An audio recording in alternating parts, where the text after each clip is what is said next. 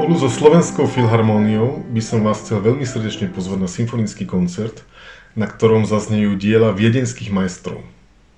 Slávna overtúra Coriolán od Ludvíka van Beethovena a jeho druhá symfónia.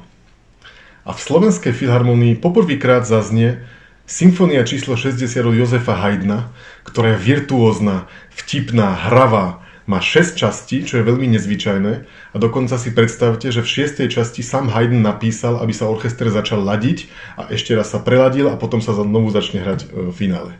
Veľmi sa na vás tešíme v piatok 9. apríla.